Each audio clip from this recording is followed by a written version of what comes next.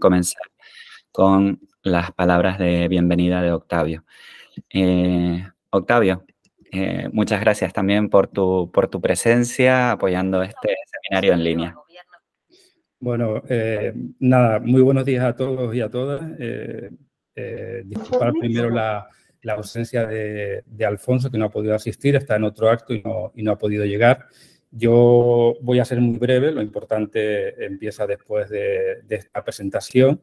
Agradecerles en primer lugar eh, la participación en esta nueva sesión formativa que organizamos eh, desde el Gobierno de Canarias en colaboración con Plan B. Estas sesiones para nosotros eh, no son solo una oportunidad para adquirir nuevos conceptos sobre la Agenda 2030 y su implementación en Canarias, sino que además nos permiten dialogar y eh, reflexionar eh, sobre su evolución y aplicación en un contexto que a nadie se le escapa, es muy complejo, con cambios muy profundos a nivel social, económico, que nos obliga a las administraciones y, a todos los ciudadanos en general a adaptar eh, esas decisiones a la, evolución de, de esos cambios. En esta ocasión, en esta sesión formativa, Además, eh, contaremos con la, presentación de tres proyectos en los que sus promotores nos ofrecerán una visión más práctica sobre iniciativas que mm, para nosotros son importantes porque han requerido en los tres casos eh, una elevada eh, participación ciudadana. Está Luis Mazorra, que es director de sostenibilidad de la Universidad de Las Palmas, que nos hablará sobre un proyecto de, de, movilidad sostenible en el campus de Tafira. Eh, Sara Rodríguez, que es coordinadora del proyecto eh, Barrio DS, que nos explicará una iniciativa de esta Dirección General y de la Universidad de La Laguna, que se desarrolla en ocho puntos de las ocho Islas Canarias y cuyo objetivo es facilitar el conocimiento de la, Agenda Canaria de Desarrollo Sostenible. Y por último, también está hoy con nosotros Laura Brito, cofundadora de, de Barrios Orquestados, una iniciativa por la que yo siento es una especial predilección, es una de las iniciativas eh, sociales y pedagógicas más, más bonitas que hay en Canarias y nos hablará sobre cómo han sido capaces de crear eh, una gran orquesta con una presencia muy importante en varias islas y generar una comunidad y disfrutar de las posibilidades de la cultura como un instrumento de, de cambio. ¿no? Espero, por tanto, que esta sesión sea lo más fructífera posible y que contribuya a generar ese debate tan importante eh, que necesitamos en torno a la Agenda Canaria 2030. Y sí quisiera terminar eh, pidiéndoles a todos que eh, el éxito de la Agenda Canaria 2030 va a depender de la participación y la implicación de todos. por eso es importante que tanto en esta sesión formativa como en otros foros o a través de una comunicación directa con nuestra Dirección General o la Viceconsejería de Presidencia, eh, exista una colaboración, estamos abiertos a organizar eh, todas aquellas cuestiones que consideren que son importantes y relevantes para que eh, la agenda canaria sea un éxito. Y nada más, muchísimas gracias y que sea lo más fructífera posible esta, esta sesión. Muchas gracias, Octavio, por, por tus palabras. Em, pues iniciamos la, agenda. Eh, mi nombre es Alberto Santana. Eh, soy el director general de la empresa consultora canaria Plan B Group, em, una de las empresas que, está colaborando con el gobierno de Canarias eh, dando asistencia técnica precisamente para, el desarrollo y la continuidad de, la implementación de la Agenda Canaria de Desarrollo Sostenible 2030 en, en nuestro territorio. Agradecerle, por supuesto, al Gobierno de Canarias esta iniciativa que tiene de una serie de seminarios en línea. Eh, recordarles que hubo un primer seminario el, mes pasado eh, relacionado pues, con, eh, la Agenda 2030, con la Agenda Canaria de Desarrollo Sostenible, en donde realizamos un, un, proceso de profundización sobre, sobre estas dos cuestiones y que también tenemos previsto otro seminario en diciembre sobre la implantación de la, Agenda Canaria en las organizaciones desde un punto de vista más práctico. Eh, comentarles que la sesión anterior está eh, publicada en la plataforma multiactor de la Agenda Canaria 2030. Les comentaré para aquellas personas que no lo conocen lo que, lo que es esta plataforma.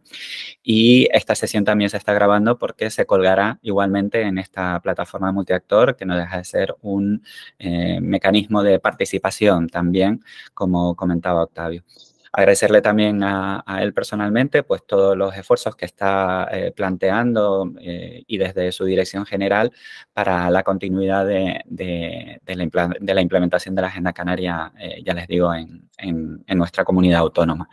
También a ustedes, por supuesto, por su presencia.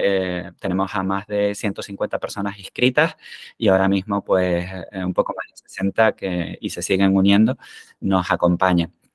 Eh, comentarles también, agradecerles a los ponentes y a las personas ponentes que, nos acompañan. Son tres eh, excepcionales profesionales y, también eh, por su tiempo. Eh, una vez que cuando eh, diseñamos la, agenda de esta sesión, eh, estábamos mm, viendo la necesidad de volver a recordar, aunque fuese de manera breve, la Agenda 2030 y la Agenda Canaria. Y como ustedes saben, pues se realizó una pregunta en el formulario de inscripción a ver si habían asistido al anterior seminario en línea del, del pasado 11 de octubre. la realidad es que un 60% no conocía que se hubiera celebrado otro seminario, así que eh, también es una buena noticia porque estamos llegando a más personas y un 20% pues sabía de, la celebración pero no pudo asistir, es decir, estamos en un 80% aproximadamente que no pudo asistir a la sesión anterior. Por lo tanto, decidimos en, un, hacer una breve píldora de entre 10 y 15 minutos aproximadamente hasta las 10 y 25, pues eh, volviendo a recordar algunos aspectos centrales sobre la Agenda 2030 y la, y la Agenda Canaria de Desarrollo Sostenible, que es justo lo que les voy a comentar a, continuación. Así que les voy a compartir la pantalla y una vez que la comparta, pues eh, les comentaré em, algunas cuestiones sobre, sobre ella. ¿no?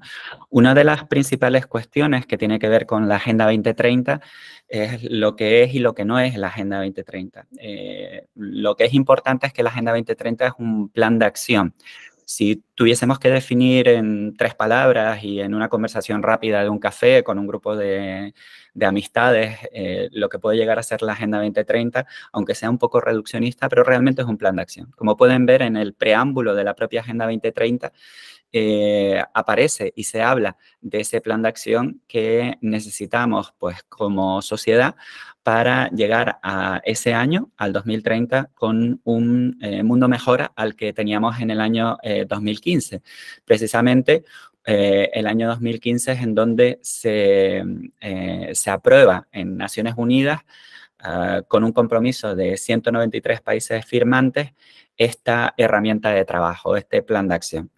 El objetivo, eh, lo vimos también en el preámbulo, eh, lo que pretende es proteger a las personas, proteger el planeta y proteger la prosperidad a través de la participación, como comentó el director general en su presentación, de todos los ámbitos de la sociedad. No solamente las administraciones públicas tienen eh, un, poder importante como catalizador o como tractor, pero el sector privado, la sociedad civil, también participamos, evidentemente, eh, no solamente de la creación de la agenda cuando la, hicimos, sino también en su, en su cumplimiento. Como buen plan de acción, la Agenda 2030 tiene objetivos, tiene metas, tiene indicadores. En concreto, la Agenda 2030 tiene 17 objetivos de desarrollo sostenible, 169 metas y 232 indicadores. Por lo tanto, es un plan que em, ya saben que lo que no se mide no se puede mejorar. Eh, por tanto, eh, son metas cuantificables que nos permiten saber si eh, lograremos nuestro objetivo en el año 2030 o no. Em, como pueden ver, el desarrollo sostenible Mm, implica tres dimensiones. Es un error bastante habitual pensar que el desarrollo sostenible eh, eh, tiene que ver exclusivamente con la dimensión ambiental.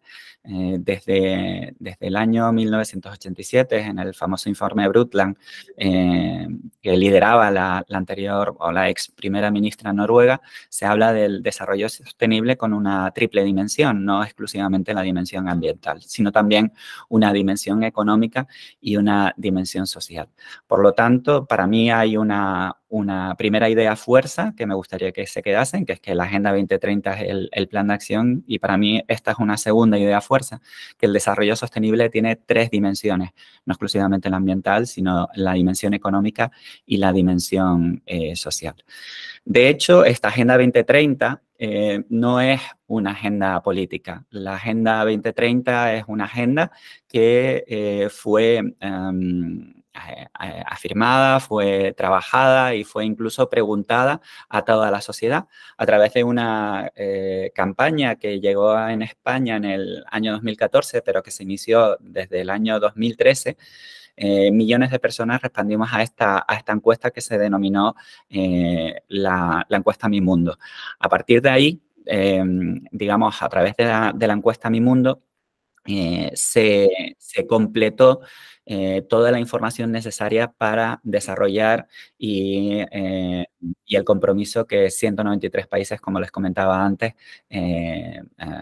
eh, digamos, fue, mm, eh, fue eh, proclamada en, Naciones Unidas. Comentarles también muy brevemente que la Agenda 2030 no se inicia en el año, perdón, todo lo relacionado con tener un plan de acción a nivel mundial, a nivel planetario, eh, no se inicia en el 2015. Es decir, la Agenda 2030 no es un documento eh, novedoso, eh, dado que en el año 2000, con los Objetivos del Desarrollo del Milenio, también proclamado por Naciones Unidas, pues se sugirió y se planteó llegar hasta el año 2015 con un mundo mejor.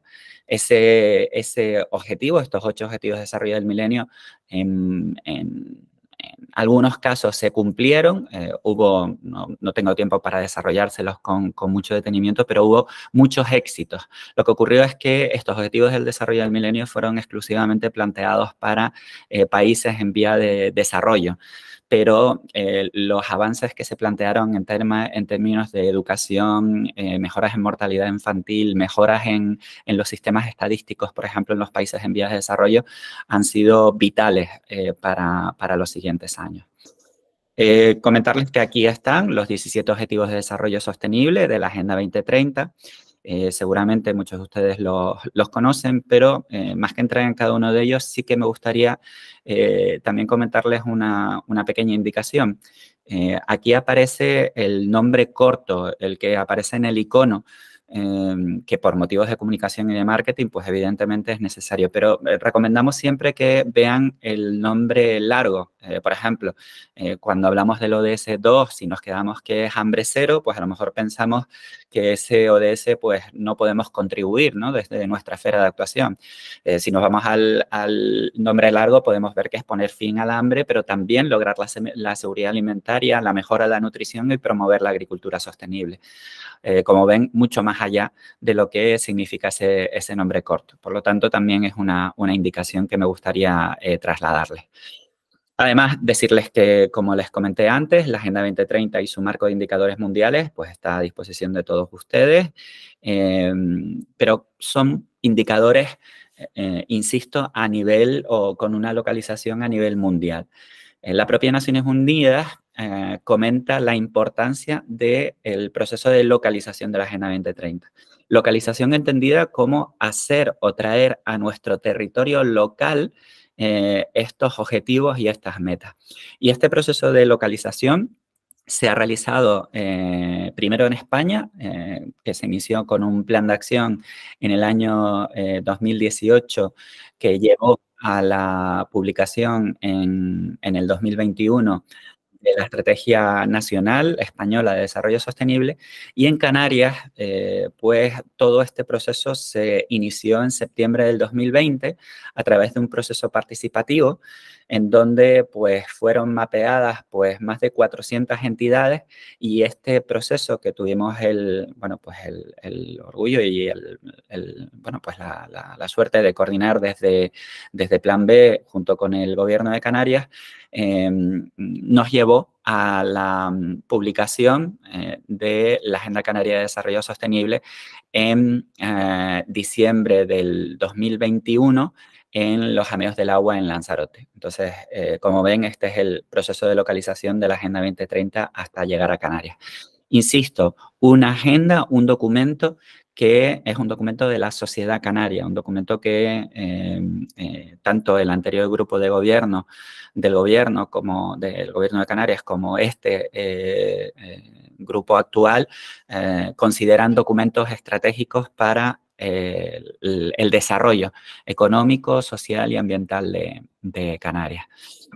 Comentarles que en esta Agenda Canaria de Desarrollo Sostenible tiene una, estructura eh, muy similar a la Estrategia de Desarrollo Sostenible eh, española, como es evidente, como es evidente, debe de estar alineada con esta estrategia nacional eh, y esa Agenda Canaria de Desarrollo Sostenible pues mm, ha definido, la sociedad canaria ha definido nueve retos región que deben de ser trabajados a través de nueve políticas aceleradoras 49 prioridades de actuación y 316 metas. Esta es la, agenda que, quiere la sociedad canaria hasta el año 2030. Eh, igual que las tres dimensiones del desarrollo sostenible son la sostenibilidad social, la sostenibilidad ambiental y la sostenibilidad económica, eh, estas tres dimensiones, eh, incluida con una dimensión relacionada con la gobernanza pública y la dimensión cultural, eh, nos lleva a definir por cada una de estas dimensiones los diferentes retos región, políticas aceleradoras y prioridades de actuación que están incorporadas dentro de la Agenda Canaria de Desarrollo Sostenible. Y en los últimos dos o tres minutos que me quedan, eh, aquí pueden ver, por ejemplo, ejemplos de, retos de cada una de las dimensiones de sostenibilidad. Y eh, las metas también canarias son metas eh, perfectamente cuantificables. De hecho, comentarles que el propio ISTAC en un grupo de trabajo está eh, trabajando también para, para mejorar estas metas. Tenemos valores objetivos hasta el 2025 y valores objetivos hasta, hasta el año 2030. Quiero acabar en el minuto y medio que me queda haciéndoles em, eh, eh, comentarles que hay una serie de herramientas y de elementos que tiene la gobernanza en la Agenda Canaria 2030. Está el Consejo Canario de Desarrollo Sostenible, eh, el Centro de Innovación para el Desarrollo Sostenible y la plataforma multiactor de la Agenda Canaria 2030. Me gustaría pararme aquí, ahora les, pondré el, enlace para poder acceder a la plataforma multiactor porque es un foro de diálogo eh, que, queremos seguir eh, promocionando entre aquellas personas que no la, no lo conozcan. Actualmente ya somos más de 700 eh, personas y entidades que estamos en esta plataforma, en donde hay hasta nueve foros que pueden seleccionar y ahí se intercambia información, documentos, informes, eventos, etc. Entonces, recomendamos que puedan, puedan eh, por supuesto, eh, inscribirse. Eh, ahí tienen un código QR y si no, no se preocupen que ahora en el chat les enviaré el, el enlace. Comentarles em, que, como les decía, la, próxima formación online eh, está pendiente de confirmar que sea el 13 de diciembre. Lo, avisaremos a través de las redes sociales de la Agenda Canaria 2030 y a través de la propia plataforma multiactor la, confirmación definitiva de, esta, de esta fecha de la próxima formación online. Y poco más, cualquier tipo de duda que tenga que ver con la Agenda Canaria, con la Agenda 2030, etcétera, pueden a eh, la dirección de correo electrónica que está en pantalla. Así que eh, después de esta eh, píldora mm, sobre la Agenda 2030 y la Agenda Canaria de Desarrollo Sostenible, pues me gustaría ya presentar al siguiente ponente, que nos va a trasladar pues, un aspecto práctico de esta participación ciudadana.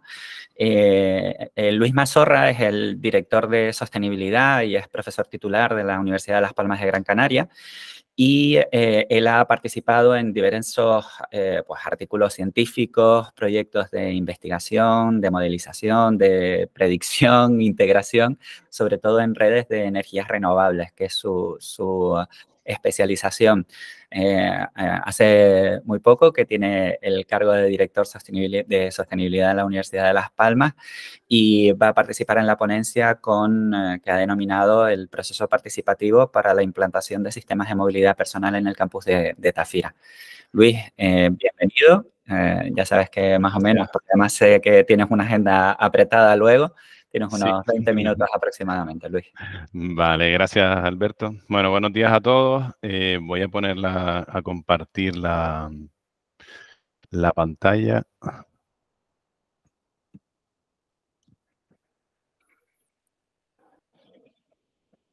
Se ve la presentación, ¿no? ¿Se me oye bien? Sí, sí, se te escucha y se ve perfecto. Gracias. Bueno, buenos días a todos y a todas. Gracias a Alberto y a Octavio por invitarme a participar en, en este webinar. Y bueno, como decía Alberto, yo voy a presentar eh, un proceso participativo que se hizo dentro de la estrategia de movilidad del campus de Tafira. Eh, se hizo en el año 2022. Realmente el proceso participativo forma parte de un proyecto más grande, como digo, es la estrategia de movilidad sostenible, no solo del campus, la estrategia, pues se buscaba hacer una estrategia de movilidad sostenible dentro de toda la universidad, para lo cual, bueno, pues primero se tuvo que hacer un estudio técnico, luego se realizaron encuestas y por último un proceso participativo. Ahora explicaré un poco más con detalle cada uno de los pasos. Eh, decir que mm, este, esta estrategia que se planteó viene un poco por la, próxima ley de movilidad, eh, que creo que todavía no está aprobada, pero se plantea la posibilidad de que los grandes centros de trabajo y grandes centros de, que muevan a, a gente pues tengan que tener en su, en su organigrama un plan de movilidad para, para, mover a todas las personas que durante el día tienen que acceder a, a esos grandes centros de trabajo. Entonces, esta, esta estrategia lo que buscaba era realizar un plan de acción, ¿vale? Y bueno, pues se busca sobre todo pues racionalizar los desplazamientos, favorecer pues que el uso más racional del coche, todo esto iba eh, planteado siempre para eh, que se utilizara más el transporte público y menos el vehículo privado. Eh, y luego en movilidad en los campus que se permita, ahora haré una breve introducción de los campus de la universidad para que se entienda en qué se entienda el proceso participativo, dónde estábamos trabajando, pues favorecer pues, mm, eh, eh, vehículos de movilidad más sostenible de eh, personal, tipo bicicletas, patinetas, en algunos de los campus para llegar hasta él y en otros pues para la movilidad interna. Y luego también pues se buscaba pues fomentar la participación y la sensibilización de la comunidad universitaria, de manera que se pudieran realizar acciones que después sirvieran para que la gente se concienciara en, su día a día con respecto a la movilidad. Bueno, en la metodología, pues como decía, eh, intentaré no enrollarme con la primera parte, que es la estrategia más técnica, aunque tengo que presentarlo para poder entender un poco la, al problema al que nos enfrentábamos.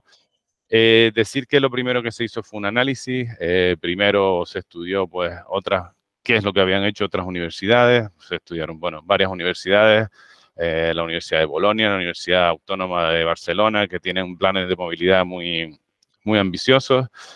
Eh, posteriormente se realizaron visitas técnicas a sobre todo los cuatro grandes campus de la Universidad de Las Palmas, ahora las explicaré. Eh, después se hizo una encuesta de movilidad entre toda la comunidad universitaria, de la cual se sacaron bastantes datos.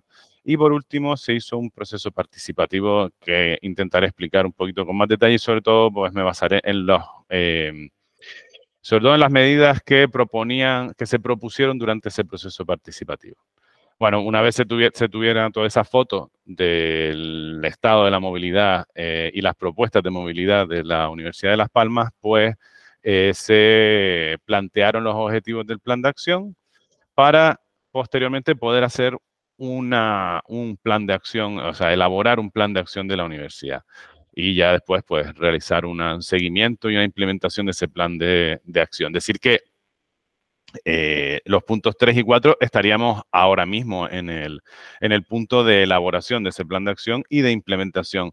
Es verdad que en paralelo se han ido implementando algunos, algunos de los puntos que nos indican en el proceso participativo.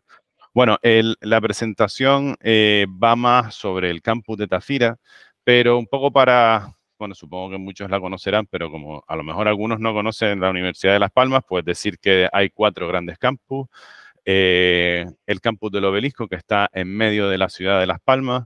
Ese campus tiene acceso eh, con vehículos privados sin problema, aunque las zonas de aparcamiento fuera del campus para los estudiantes no son muy adecuadas el acceso peatonal no es eh, precisamente muy adecuado debido a que eh, hay varias zonas que están bastante invadidas por el vehículo privado, pero sí que es verdad que es una zona que está bien conectada con, el eh, transporte urbano, con tanto líneas de guaguas como la futura metro guagua pasará pues cerca de ese campus y permitirá la conexión con bicicletas desde su recorrido. El otro campus que está también en la ciudad de Las Palmas, un poco más saliendo de la ciudad, está, es el campus de San Cristóbal, donde está la parte de ciencia de la salud. Se encuentra al lado del hospital, insular y del materno infantil. Ese campus también eh, tiene acceso de líneas de transporte urbano, eh, públicos, eh, colectivos, y, va a estar también dentro del recorrido de la Metro Guagua, lo cual en ese sentido estará bien comunicado, pero es un campus que el aparcamiento también es muy complicado, tiene muy poco aparcamiento para vehículos privados y el acceso peatonal y en bicicleta, bueno, pues es bastante mejorable actualmente. El campus que se encuentra fuera de la ciudad es el de Montaña de Cardones, que está en la carretera del norte. Este es el más complicado para el acceso eh, que no sea por vehículos, tanto transporte público como privado. De hecho, no existe posibilidad de acceso si no es mediante transporte público, aunque el transporte público queda a 500 metros del campus. Pero bueno, eh, tiene líneas de global que llegan hasta el campus y el acceso con vehículo privado es bastante sencillo. Bueno, el campus en el que nos vamos a centrar hoy es el campus de Tafira. Decir que está eh, a las afueras de Las Palmas, de camino a Santa Brígida. Eh, entiendo que muchos lo conocen, pero para que se entienda el general de, de toda la presentación, bueno, el campus eh, está en una zona, tiene alrededor unas zonas residenciales, pero al encontrarse a 10 kilómetros de la ciudad de Las Palmas, eh, su acceso es eh, prácticamente inviable si no es mediante transporte público o privado. El acceso mediante bicicleta o caminando se hace muy complicado, excepto si, bueno, excepto de los pocos barrios que hay justo alrededor del propio campo. Es verdad que se encuentra muy bien conectado, tanto para el transporte público como privado, porque la circunvalación pasa muy cerca y la, la carretera del centro también, y tiene un montón de accesos, pero el acceso mediante vehículo personal no es viable. El campus tiene 11 edificios entre residencias, centros de investigación, edificios de aula, eh, centros deportivos. Y bueno, después haré un resumen de la cantidad de gente que se mueve por el campus. Bueno, en el estudio técnico mm, se estudió, pues, primero el acceso por vehículo, ya he dicho que está bastante bien conectado y además el campus, pues, dispone de 10 bolsas de aparcamiento. Esto, bueno, es bueno para el acceso al campus, pero bueno, después veremos que es una debilidad en cuanto a fomentar el transporte público porque mm, hace, muy atractivo venir con tu vehículo privado al campus. No hay problemas de aparcamientos ni para profesores ni mm, para alumnos. Tardan un poquito más en encontrar aparcamiento, pero no es excesivo. Eh, está bien conectado por líneas mm, de guaguas, tanto de las guaguas municipales como de las líneas interurbanas de Global Ahora me centraré un poco porque está bien conectado, tiene bastantes líneas, pero en cuanto a la frecuencia y lo que se tarda en llegar al campus, sí que hay quejas y se, en las encuestas, tanto en las encuestas como en el proceso participativo, sale a la luz que el problema del uso del transporte colectivo es precisamente eso. Eh, bicicleta, pues eh, no, como decía, no se puede llegar en bicicleta o es, es, muy difícil llegar en bicicleta. Y en la movilidad interna, porque es un campus bastante grande, en el momento del estudio no existían ni carriles bici, ni zonas 30, ni estaba señalizado. Decir que a raíz del proceso participativo sí que se ha mejorado la parte de circulación interna de bicicletas. Ya pondré el ejemplo un poco de lo que se ha hecho, pero sí que existe ahora zonas 30 y está delimitado la zona de, del uso de la bicicleta. Y los peatones, pues bueno, pues eh, la movilidad tiene, dentro de los peatones, tiene ciertas deficiencias en cuanto al ancho de las aceras, eh, en cuanto a la amabilidad del, del lugar. Es un lugar que además no tiene muchas eh, sombras, con lo cual en esto ahora mismo que está haciendo, ha hecho mucho calor y pues no es muy agradable para, para pasear, sobre todo porque además entre los dos puntos más extremos del campus hay una diferencia de altura bastante importante. Y bueno, decir que, como decía, un poco del transporte colectivo, bueno, este es, un cuadro de las líneas de guaguas municipales, eh, son cuatro líneas, de global hay 11, pero bueno, para no eh, enredarme con este tema, pues decir que las frecuencias sí que eh, son cada 20, 35 minutos en la mayoría de ellas, excepto en, una de las líneas, pero muchos de los usuarios, bueno, se quejan que después, a la hora de llegar eh, o, lo que tardan en llegar hasta el campus, pues es bastante. Eh, además, las paradas dentro del campus están bastante bien distribuidas y ese no sería uno de los, una de las debilidades. Bueno, una vez se acabaron las, las visitas técnicas, cada uno de los campus teníamos pues los datos de movilidad o de las posibilidades de movilidad que tenían, se realizaron encuestas. Eh, las encuestas se hicieron en el 2022, ¿vale? Eh, aquí, bueno, pongo, están los datos de 2022, porque fue cuando se realizó la encuesta, es decir, que pone que hay 14.700 estudiantes, bueno, perdón, 12.400 estudiantes, 14.700 en total, contando personal docente y personal administrativo. Ahora, en los últimos datos de este año, somos un poquito más, con lo cual habría que tener eso en cuenta a la hora de, seguir con el plan de acción. Somos alrededor de 19.000 estudiantes ya, o sea que ha aumentado bastante con respecto a los datos de, de la encuesta. Pero bueno, la distribución sigue siendo medianamente parecida, de 80 y pico por ciento de estudiantes y un 10% de personal docente y un 6% de personal administrativo. Bueno, la encuesta se realizó eh, con 1.200 personas, un poco respetando la distribución de personas que, de, mm, tanto de estudiantes como el porcentaje de estudiantes, docentes y personal administrativo que hay en el, en el campus. Y bueno, eh, en los cuadros que ven, pues se puede se ha puesto pues dentro de, en cada uno de los grupos de personas, decir pues hacia dónde se mueven, ¿vale? Vemos que el campus de Tafira es con diferencia el que mayor eh, gente mueve, tanto en estudiantes como en personal docente como en administrativo, y seguido del personal de, perdón, del campus del obelisco. Entre los dos, que entre los dos decir que suman pues prácticamente el 80% de la movilidad, ¿vale? Es decir, que por eso también nos hemos centrado en el campus de Tafira en este proceso. Aparte de que nos hemos centrado en el campus de Tafira porque en el proceso participativo queríamos que un poco eh, la gente eh, planteara posibilidades de movilidad interna dentro del campus y es el único que permite eh, movilidad interna dentro del campus. Pero bueno, también es que el principal problema de movilidad de la universidad está en el campus de Tafira y el campus del obelisco. Bueno, en cuanto al modo más utilizado para acceder, ¿vale? Aunque eh, parezca que estoy diciendo que es el, eh, transporte privado, ¿no? Eh, es el método de, o sea, las, universitarios vienen, en su mayoría vienen en guagua, un 53% van en guagua, ah, frente a un 39% que utilizan el vehículo motorizado privado. Y si pues nos centramos por campus, el campus de Tafira eh, tiene, eh, respeta ese porcentaje, la mayoría de la gente utiliza la guagua en 55% frente a un 36%, y en el campus del obelisco se nota un poquito más de, eh, de acceso por transporte público porque, bueno, al encontrarse en el, en el centro de la ciudad, pues su acceso es mucho más sencillo y permite pues una mayor movilidad en transporte urbano. Eh, por otro lado, pues decir eh, que en el campus de Tafira, centrándonos en el campus de Tafira, el modo de transporte más usado por los estudiantes, si nos vamos entre estudiantes, docentes y...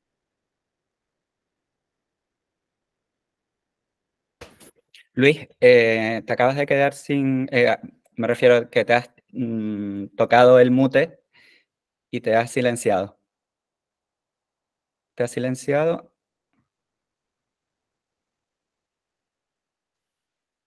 ¿Ahora? Sí, sí. Vale. ¿Hace mucho que estoy hablando no, solo? No, no, justo ahora, no, no, justo ahora. vale, bien. Vale, vale, pues sigo. Entonces, bueno, estaba diciendo que por, Por grupos de, dentro de la universidad, pues decir que los alumnos son los que más utilizan la, la guagua, con un 63% frente a un 36% que utiliza el vehículo motorizado.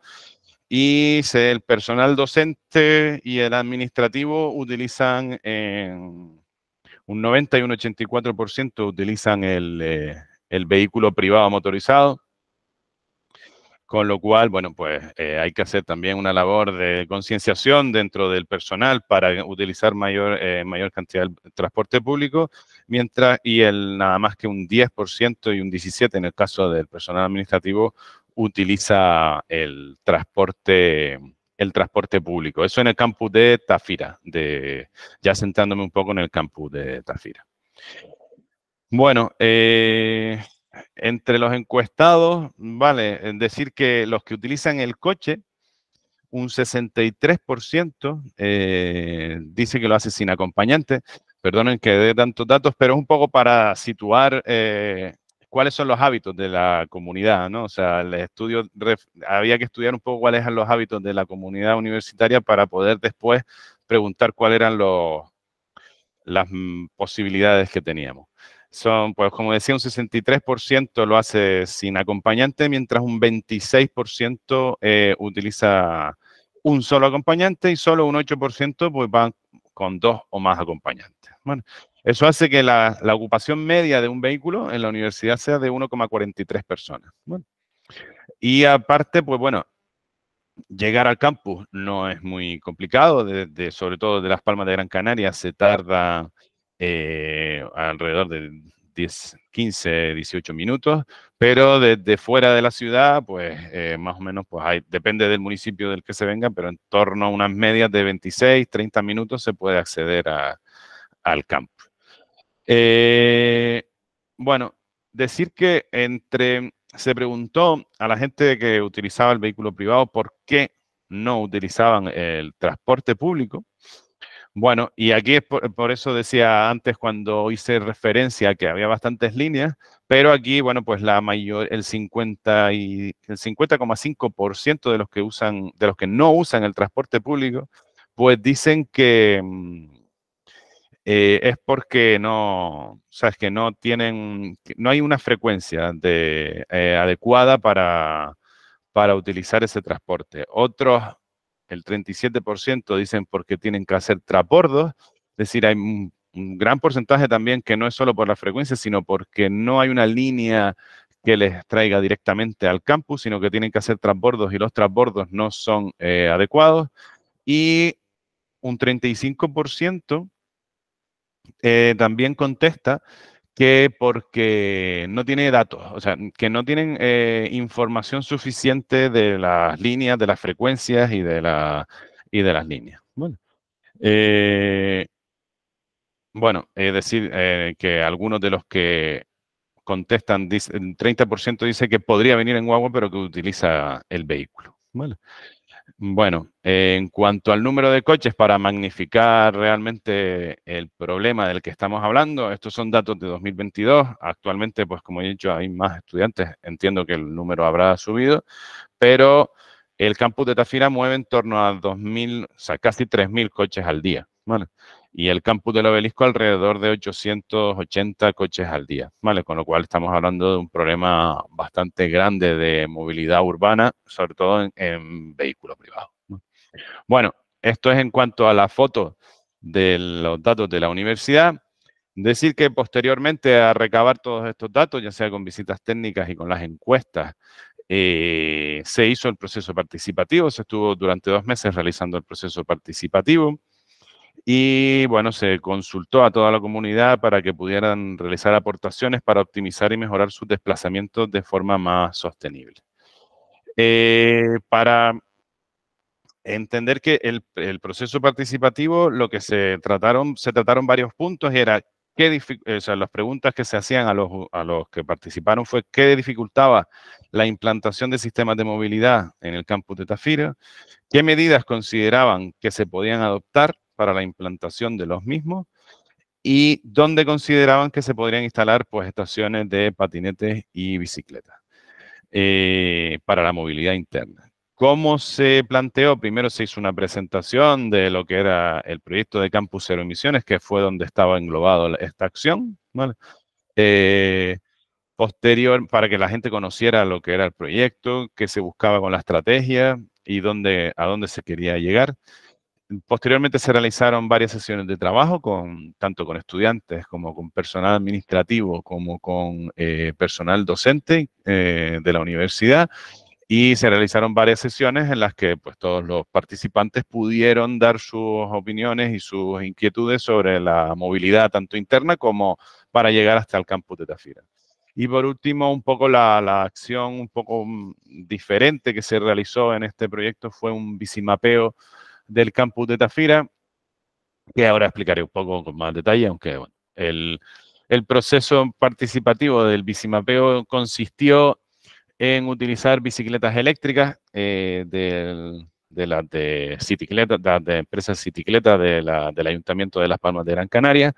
Eh, lo que se buscaba era pues hacer rutas de utilización del campus en bicicleta para que los usuarios pudieran eh, pues opinar sobre las mejoras tanto en el viario como en las paradas, como dónde creían que pudiesen estar las paradas e incluso pues cómo podrían organizarse todo lo que es la circulación del, de las bicicletas por el campus. Se hizo con bicicletas eléctricas. Ya dije que el campus tiene una diferencia de altura eh, importante. Hay una zona un poco eh, que tiene una, una cuesta bastante importante y eh, las bicicletas eléctricas son pues claves para poder implantar el uso de la misma.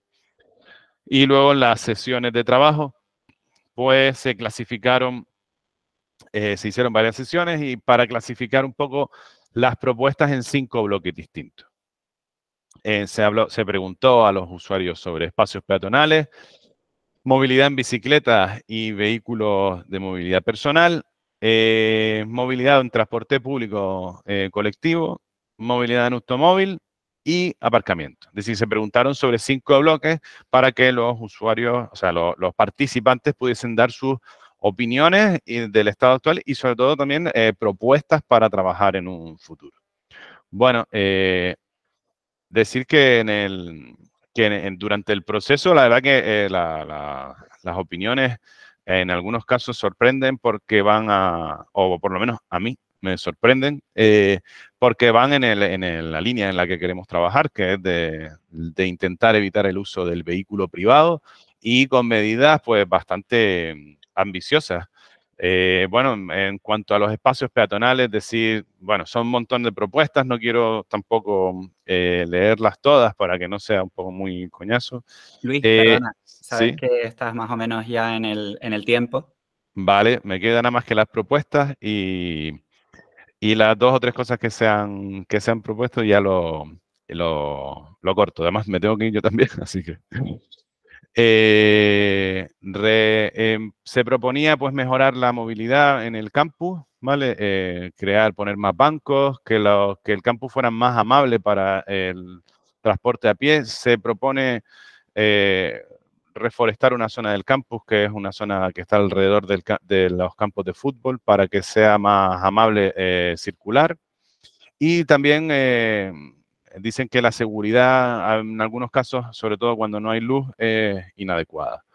Eh, en cuanto a la movilidad con bicicletas, pues muchos de los participantes decían que eliminar, eh, que querían eliminar la circulación, directamente eliminar la circulación de vehículos privados dentro de lo que es la zona del campus, que se señalizara, que se crearan zonas verdes, eh, zonas 30 y 20 para el, el uso del patinete, del peatón y de, y de la bicicleta y asfaltar para que, eh, para que la circulación fuese más fácil.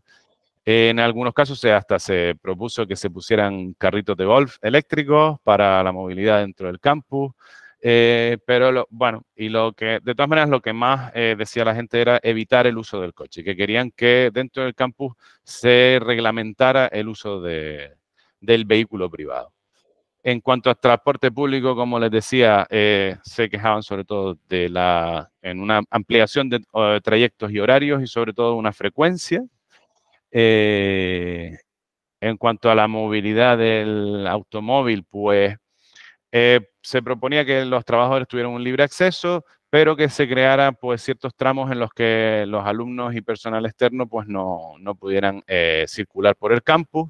Y que se, mm, sobre todo lo que más sorprendió es que decían pues de crear eh, aparcamientos externos propia, al propio campus para evitar el uso del, coche en el interior. Es decir, que la gente, eh, aparcamientos disuasorios en los que la gente pues, llegara, dejara su vehículo y después dentro del campus se moviera con bicicleta o, con eh, movilidad interna, pues una guagua también de movilidad interna. En, bueno, en las propuestas de aparcamientos, pues como estaba comentando, pues de incluso se llegó a proponer cobrar por estacionar en el interior. En cuanto, bueno, a raíz de, todo este, de todos estos datos se hizo un análisis de debilidades, amenazas, fortalezas y oportunidades para eh, posteriormente, pues se establecieron varias propuestas en, el, en las líneas estratégicas, ¿vale? Una, en el caso de establecer, es crear una, un, un ente que gestionara la movilidad dentro del campus, en cuanto a la mejorar la, accesibilidad, se propuso en la estrategia pues que, hubiese eh, mejorar la, vamos, mejorar la red peatonal del campus y aumentar la superficie dedicada al peatón, las superficies verdes, eh, mejorar la posibilidad de moverse con bicicletas eh, y patinetes dentro del campus. Esas acciones se han hecho. Ahora pondré un par de fotos de los aparcamientos que se han creado. En cuanto al transporte colectivo, decir que bueno, se propuso y se entre los en el proceso participativo en cuanto a lo de la información, pues se propuso se, se propuso en algunos casos decir una plataforma donde se informara de los horarios, de cuánto queda para la que pase la siguiente guagua, pero que fuera eh, global. En, bueno, en, o sea, que fuese compartido entre Global y guaguas municipales para el acceso al campus, que el, universitario pudiese saber qué vehículo podía utilizar, además de, bueno, mejorar las frecuencias y de mejorar eh, la, accesibilidad de los propios transportes públicos. En cuanto al uso razonable del, vehículo privado, se propuso también eh, desarrollar aplicaciones de carpooling para eh, mejorar los ratios de, de compartir el, el, vehículo privado, es decir, que venga más gente en un mismo, en un solo vehículo y mejorar los estacionamientos y la vigilancia y el estacionamiento de las bicicletas. Y bueno, pues fomentar la participación también se propuso para poder y que hubiese, que hubiese una, una participación constante del personal de la universidad y de los estudiantes para mejorar estos, estas estrategias de movilidad. Bueno, posteriormente, bueno, lo que se ha intentado ir implementando, pues se puso una, una guagua automática, esto, una prueba piloto de una guagua autónoma, ¿vale? Eh, que es un, proyecto con la DGT, con la universidad eh, y global. Eh, también se mejoró las paradas de bicicletas, se instauraron seis paradas de bicicletas en el campus de Tafira, eléctricas con cicicletas. Y bueno, también se ha fomentado el uso de las motocicletas eléctricas con la empresa Love Sharing, que bueno, como ven ahí, pues ya el campus, eh, esos son los puntos rojos, son donde dejan las motocicletas eléctricas y vean que el campus, pues están, los alumnos cada vez más eh, utilizan ese transporte eh, para llegar hasta el campus. Bueno, y perdonen por alargarme, ya terminado. Muchas gracias Luis y felicidades por el, mm por el trabajo realizado por, la Universidad de Las Palmas, la verdad, totalmente alineado con uno de los retos región que tenemos en la Agenda Canaria de Desarrollo Sostenible, el reto región 7, que, que, habla precisamente de afrontar estos retos demográficos y territoriales y con prioridades de actuación concretas como la 7.1, eh, que habla precisamente de, movilidad sostenible. Em, bueno, pues hemos visto efectivamente esta experiencia. Eh, tienes algunos agradecimientos y algunos comentarios en el, en el chat, Luis, pero en principio no hay ninguna pregunta. Eh, si hay alguna, sabemos que, tienes que, ausentarte ahora por una reunión. Si hay alguna pregunta, pues ya se la trasladaremos a Luis para... Mm. Eh, nos comenta Juan Manuel muy rápidamente si eh, puedes aportar datos de participación en las campañas. No sé si los tienes, Luis. no los tengo, no dispongo de ellos. Sé que en las encuestas participaron 1.200 personas, pero en las campañas de, del proceso participativo no tengo datos de cuánta gente participó. Vale, perfecto. Bueno, pues muchas gracias Luis eh, por tu presencia y por compartir este proyecto de participación ciudadana que contribuye también a la, Agenda Canaria de Desarrollo Sostenible. Gracias. Bueno, muchas gracias por invitarme y perdonen porque me tengo que ir. En tres minutos tengo que estar en el otro lado del rectorado, pero bueno. Perfecto. muchas gracias. Venga, muy bien. Hasta luego. Eh, bueno, pues vamos con un poquito de retraso, pero vamos a intentar eh, eh, recuperarlo. a continuación, pues les quiero presentar a, Laura Brito. Ella es cofundadora del proyecto Barrios Orquestados. Mm, la actividad musical le viene desde muy pequeña, ¿verdad, Laura? Porque desde casi con cuatro años inicias los estudios musicales, gracias a tus padres y te formas en, Las Palmas, te vas a Madrid, a Londres, a Alemania y en el 2010 eh, obtienes el grado profesional en la especialidad de violín, ¿no? con, matrícula de honor, además en el Conservatorio Profesional de, Las Palmas de Gran Canaria. Has hecho un montón de cursos de violín, música de cámara, pedagogía eh, y todo eso pues te ha llevado a fundar junto a tu, a tu padre, a José Brito, este proyecto músico social que mucha gente llevamos eh, siguiéndote desde, desde hace mucho tiempo que se denomina Barrios Orquestados. Ahora mismo eres profesora de violín y viola y también maestra en, educación musical temprana, eh, coordinando estas dos sedes. Eh, Laura va a participar en la, en la ponencia que ella ha denominado Barrios Orquestados, Pedagogía Musical desde lo Social. Y más o menos tienes hasta las, hasta las once y media, Laura, cuando tú quieras. Pues lo primero, agradecerte las palabras, Alberto, y también agradecer las palabras a Octavio, que nos dedicó al principio.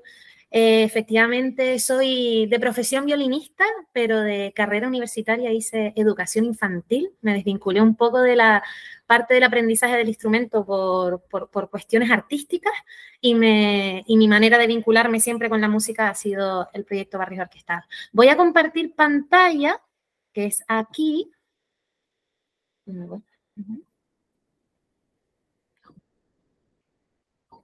A ver, un momento, perdón. Listo. Eh, ¿Se ve bien? Espérate, ahora se está... Vale, eh, pasa a la siguiente página para confirmar que todo va bien. Sí, venga, cuando quieras. Vale, pues voy a, a, empezar, nos gusta empezar siempre con un vídeo eh, que les haga un mini resumen de lo que hemos hecho estos últimos, pues casi 12 años en el proyecto de Barrios Orquestados.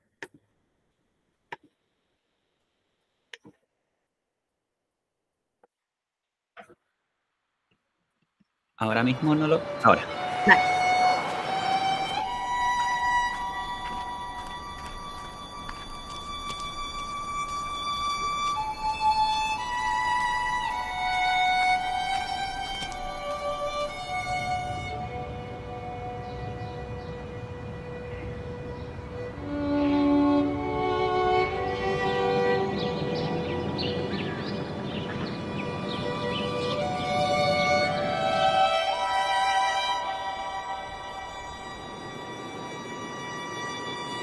Barrios Orquestados es un concepto, un proyecto que pretende generar comunidad. Comunidad a través del arte, comunidad a través de la música en particular y eliminar todos los sesgos de desigualdad social que a veces impiden acceder a las ofertas culturales. La misión de Barrios Orquestados es que crezcamos como personas. Comunicando y enseñando a través de la música para demostrarle a la sociedad que la periferia tiene mucho talento. Estamos en 10 barrios diferentes de cuatro islas, de Gran Canaria, Tenerife, Lanzarote y Fuerteventura, además de una expansión en Honduras y en Chile. Lo mejor de Barrios Orquestados somos las personas que formamos parte de él. Transmitimos a los alumnos siempre que podemos seguridad y gracias a eso creo que hemos convertido a personas sensibles, empáticas y orgullosas de sí mismas. Cuando llegué no pensé que fuese a encontrar mi camino y mi futuro profesional. Aquí encontré mi pasión y mi hogar. No es solo un proyecto músico social. Ha sido ya el propulsor de mi carrera profesional y personal. Nunca pensamos que íbamos a llegar hasta aquí. Nuestra idea era estar tres meses en el barrio de Tamaraceite, llevamos 10 años. Esa idea que en un principio pensábamos que iba a durar un par de meses, porque así lo habíamos planteado, fue tomando una, una forma que igual nos, nos sorprendió a todos los que estábamos en aquel momento. Estoy orgullosa de pertenecer a Barrios Orquestados. Orgulloso de perseguir la inclusión social. Orgullosa de formar parte de esta familia. Orgullosa de pertenecer a este proyecto en el que están las familias, nuestros barrios y Canarias.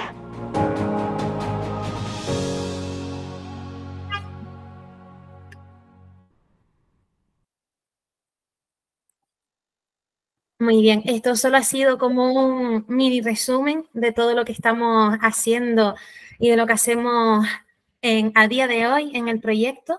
Eh, me encantaría que, bueno, adelantarles que vamos a hacer como un mini resumen de lo que han supuesto estos 11 años, porque eh, si me, me, pusiese a contar todas las experiencias que hemos vivido, estaría aquí 11 años más, contando año por año, pero agradecida de tener este espacio. Vamos a empezar con la presentación para facilitarles un poco que entiendan cómo funciona.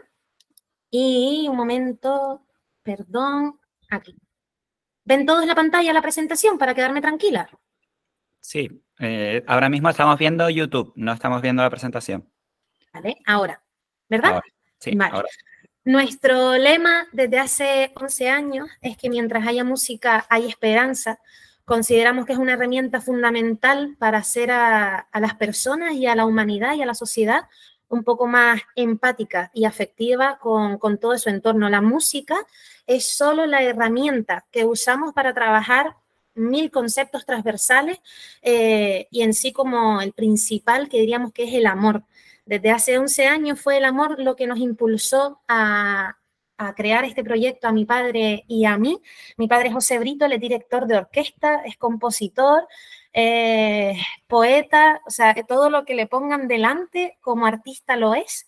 Y culturalmente vimos que había un vacío en el archipiélago canario, más concretamente en ese momento en la isla de Gran Canaria, para que personas que vivían en barrios periféricos, de, de, Las Palmas, en este caso, pudieran acceder de manera completamente gratuita a una formación musical.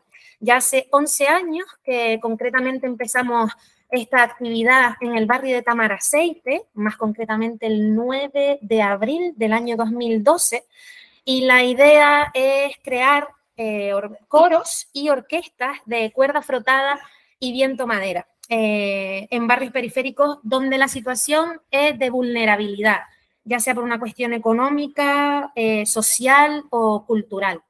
La idea de crear orquestas es porque creamos comunidad con esta creación de orquestas.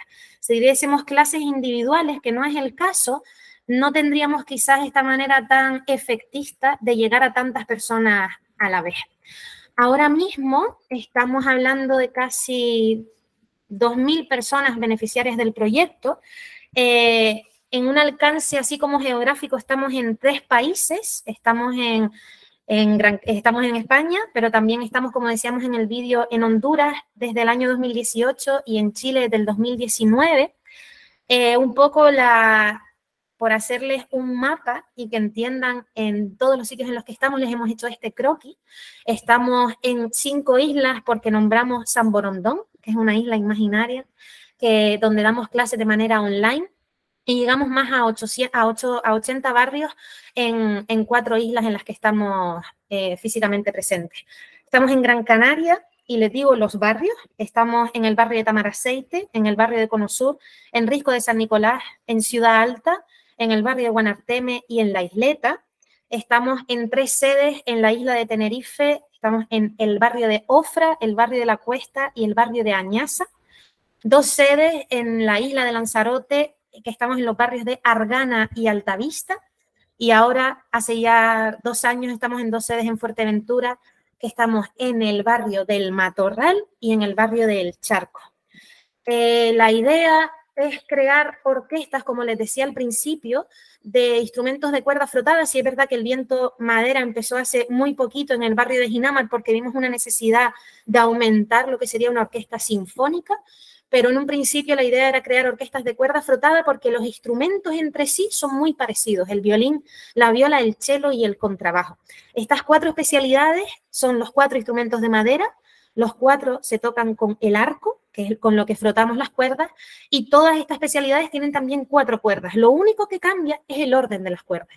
Entonces, es una metodología que se puede llevar de una manera muy natural a otros países porque la, metodología está como muy organizada, muy ordenada. Esto lo hemos conseguido con un equipo de profesionales eh, con mucha vocación social, con mucha, yo digo que son muy empáticos afectivamente, porque está formado casi por 40 personas, oscila las 40 personas, y somos profesionales de diferentes ámbitos, no solo hay músicos. En este caso, hay un 83% del equipo que se dedica a la parte instrumental, hablamos de especialistas en cuerda frotada, especialistas en viento madera, en formación complementaria, eh, luego personas voluntarias, músicos voluntarios que vienen a participar con nosotros en los conciertos y alumnado que ya después de 11 años eh, tiene las habilidades y las herramientas y son ahora mismo eh, profesores del proyecto. El otro porcentaje, el 17%, es un equipo que se divide en cuatro, en, cuatro partes, ¿no? Como en, en, cuatro cubículos. El primero es la parte administrativa, que les explicaré un poco más adelante. Luego hay una parte de comunicación, redes sociales, eh, todo lo que nos piden sobre las radios, televisiones y un poco la, hacer una difusión correcta del proyecto, la producción, que es casi la, parte fundamental del proyecto porque es quien nos, quien nos ayuda en todo momento a seguir como los pasos adecuados. Y después, por último, eh, toda esta organización, está, ahora mismo tenemos a cuatro profesionales dedicados al trabajo social, eh, al trabajo con la familia, a la resolución de conflictos, a la posible búsqueda de ayudas de becas alimenticias o becas en las guaguas municipales para que puedan transportarse. Eh, un poco son los, las que ayudan a las familias y a los alumnos a intervenir de una manera quizás más productiva y más eficiente, pues en, en, todas, todas estas historias, ¿no? Estos papeleos que a veces a las familias les cuesta un poco manejar. Nosotras tenemos una administración mixta. Eh, tenemos ayudas de sectores públicos y tenemos ayudas de sectores privados. Fundaciones, asociaciones, empresas privadas que han querido colaborar con nosotros. Estamos hablando de más de 40 eh, instituciones públicas y privadas que colaboran con nosotras, eh, mm, algunos desde hace muchísimos años, ya prácticamente 11 años, y otras que poco a poco nos vamos presentando a, subvenciones, a convocatorias, y se nos ofrece un dinero para la implantación del, del proyecto en un barrio, a lo mejor es directo la ayuda para eso, o a veces la ayuda simplemente es para repartirla de manera equitativa en todos los barrios del archipiélago canario, que es lo que solemos solicitar porque es lo que nos hace falta en su mayoría. Como les explicaba, mm, la metodología para quien no es músico, voy a intentar explicárselo de la manera más pedagógica posible. Eh, si yo les digo que damos clases de violín, viola, cello y contrabajo, lo primero aunque no seamos músicos, lo primero que se nos viene a la mente es la música clásica, la conocida como música eh, clásica, la que toca una orquesta sinfónica o una orquesta filarmónica en el auditorio Alfredo Kraus. Lo que hacemos nosotras es utilizar estos instrumentos como herramienta para darles a ellos un repertorio musical que es mucho más atractivo. Eh, les puedo poner miles de ejemplos, pero empezamos desde a lo mejor la música pop eh, hasta la música de cantautor. El año pasado tocamos al final del concierto La Masa del cantautor Silvio Rodríguez. Eh, hacemos músicas del mundo, intentamos educarles en, en, un mundo quizás sin fronteras y la cultura y la música ayuda mucho para eso. Y por ejemplo, en este concierto del 19 de noviembre que tenemos próximamente, el tema, el último tema que van a interpretar los alumnos y alumnas del proyecto, los beneficiarios del proyecto, es Hijo de la Luna de Mecano, y de esta manera les hacemos a ellas partícipes. Fue una propuesta de una mamá del proyecto y, hemos cumplido su, su, sueño, como ella dice. Entonces, a partir de, esta, de este lenguaje mucho más eh, activo y mucho más personal con las alumnas cuando utilizas este tipo de repertorio musical, hacemos una metodología siempre de trabajo. Nosotras no damos clases individuales. En cada una de nuestras clases trabajamos en grupos de 20 niñas y niños divididos por edades. Es decir, por ejemplo, hay un grupo de 20 que oscila la edad de 6 a 9, 10 años y otro grupo de 20 que oscila la edad de 10 años hacia adelante. No tenemos límite de edad. Sí es verdad que nos lo planteamos mucho porque no se le habla igual a una niña, una adolescente de 13 años que a otra de 18, pero intentamos que se sientan parte y les damos, les cotutorizamos para que los grandes sean tutores de los pequeños y hacemos ahí a lo mejor un trabajo en equipo que funciona bastante bien para que no se sientan menos, ¿no? Y no se sientan tampoco quizás como menos que los, que los niños que tienen más edad, ¿no? que las, alumnas y alumnos que tienen más edad. Nosotros nos fundamentamos en, en tres pilares. Uno es la educación vocal. En nuestra formación es pura vocal porque es coral y es de memoria. No usamos partituras y no usamos sillas. Los violines y las violas están dando las clases siempre un tramo de una hora, no les tengo tres horas, es solo un tramo de una hora, pero la damos siempre de pie, los únicos que se sientan en este caso son los instrumentistas de violonchelo, porque tienen que tocar el instrumento así, pero siempre son 20 niñas y niños o adolescentes eh, que están de pie, que no tienen partituras y que se trabaja a partir de una pregunta y una respuesta de la profesora o, del profesor. En mi caso, eh, como decíamos al principio, yo soy coordinadora de dos sedes aquí en Gran Canaria, yo estoy dando clases ahora en el barrio de Guanarteme, yo llego a mi clase, tengo 20 alumnas y alumnas frente a mí con sus instrumentos, yo les doy una información y ellos la repiten.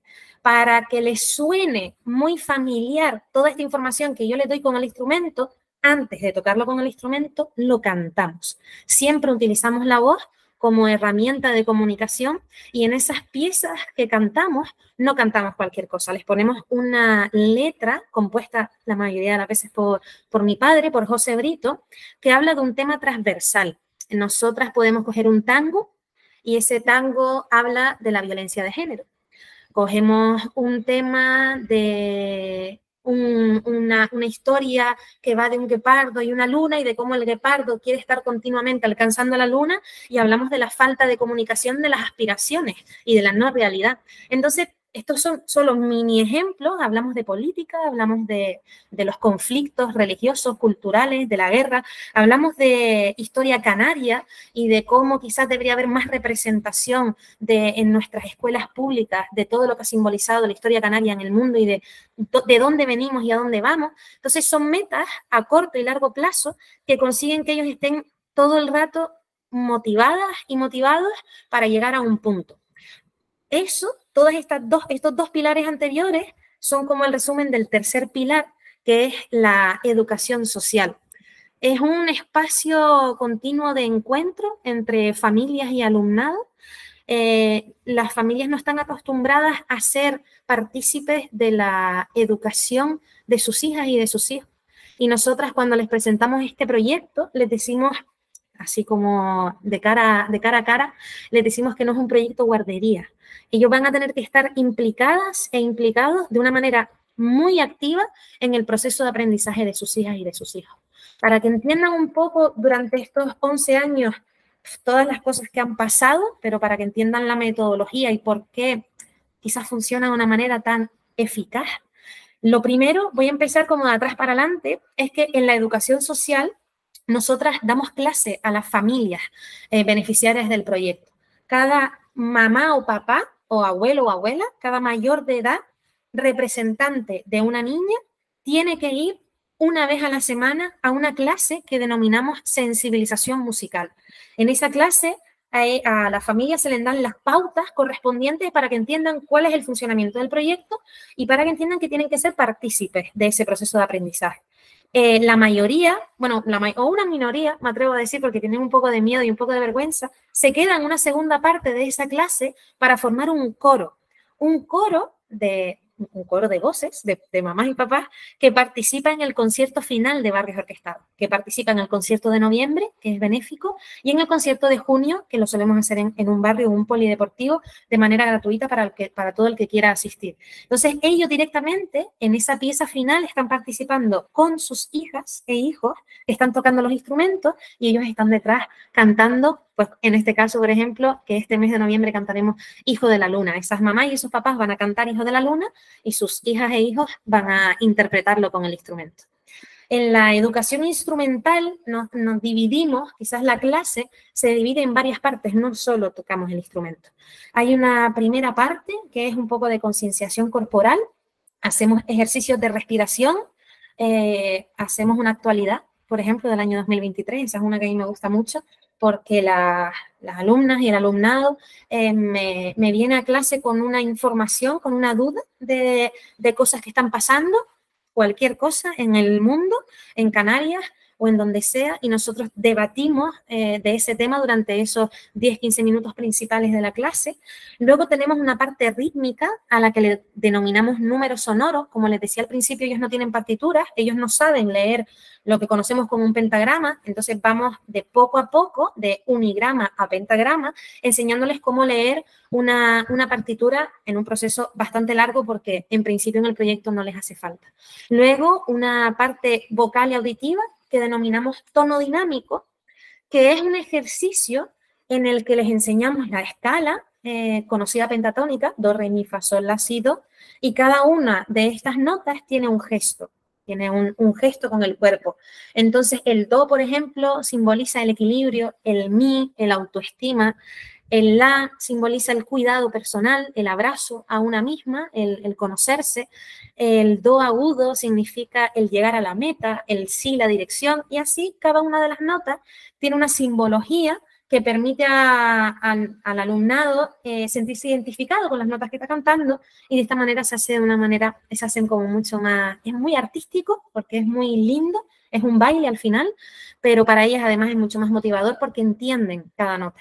Y luego, por último, la última media hora de clase eh, es la formación instrumental.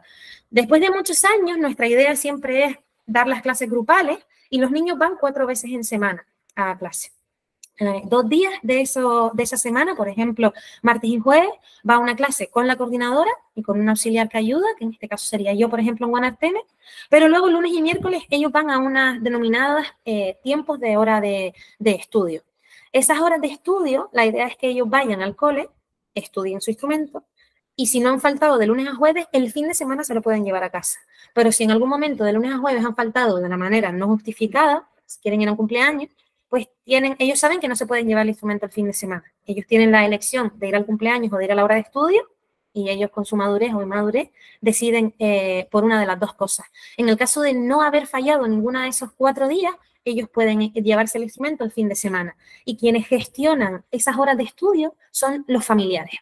Entonces, en esa clase social de sensibilización musical se hace un cuadrante de horas donde cada mamá y cada papá sabe qué día tiene que ir y qué día tiene que cuidar en esa hora de estudio. Esto es toda la parte eh, grupal y después hay una mini parte individual que llevamos a cabo desde hace a lo mejor unos 7, 8 años a través de unas becas eh, de estudio que nos han dado fundaciones privadas, en este caso, por ejemplo, DISA en Gran Canaria, que nos permite dar unas clases individuales a X alumnas o alumnos, sea por talento o por defecto, aunque suene mal. Si tiene una dificultad de aprendizaje, por ejemplo, o si tiene una discapacidad física por la que necesita una atención más especializada, pues durante una época, durante unos meses o unos años, si la cosa va bien, se le dan unas clases individuales para fomentar que no tenga tantas dificultades a la hora de, dar las clases en grupo. Esto es un poco el organigrama de muy, muy resumidamente de lo, que, de lo que es el proyecto. Eh, y ahora a petición eh, de mis compañeras también de comunicación, hemos querido, bueno, he querido de la manera más humilde posible, porque no soy especialista, hacer una, un hilo conductor con los objetivos de, desarrollo sostenible de los que hablaban eh, al principio. Voy a hablar de cuatro eh, específicos. El primero es educación y calidad, que es el número cuatro. El segundo, igualdad de género, que es el número cinco el tercero, la reducción de desigualdades, que es el número 10, y por último, ciudades y comunidades sostenibles, que si no me equivoco es el número 11. Lo que he pensado para que sea una manera un poco más atractiva la especificación y la ejemplificación de cada uno de estos eh, parámetros y objetivos es ponerles unos ejemplos en estos últimos años o en este último año 2022, si fuera posible, para explicar cada uno de estos objetivos y cómo consideramos que los hemos llevado a cabo. ¿Les parece bien? Em, en la primera, por ejemplo, en educación y calidad, ay, perdón, ahora.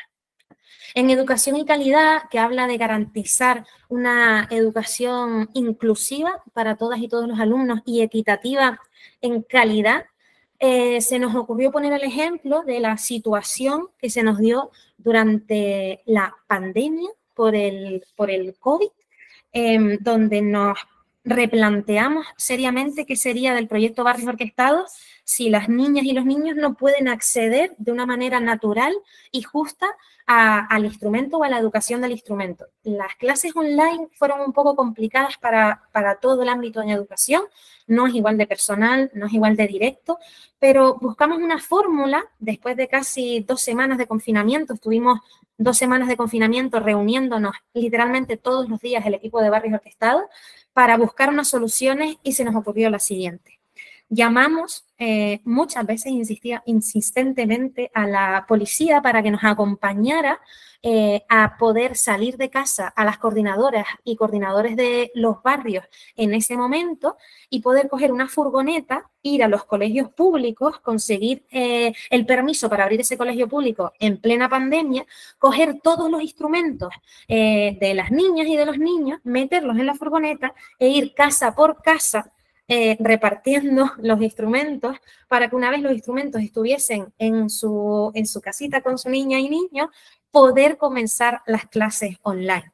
Así estuvimos los meses de pandemia. Fue una situación un poco arriesgada porque conseguir esos permisos eh, fue complicado y entendíamos que al final era una cuestión de salud, no, no, nos metíamos para nada con eso, pero también consideramos que es un derecho que si una niña o un niño está recibiendo una atención eh, cultural y musical, que ese derecho de repente durante casi tres meses no se viese vacío, sino que había una motivación principal y no dejar solo, por ejemplo, que las alumnas y alumnos que sí tenían el instrumento en casa pudiesen dar las clases online, sino buscar una opción donde la equidad fuera la primera y poder entregar esos instrumentos a, diferentes, a sus diferentes casas.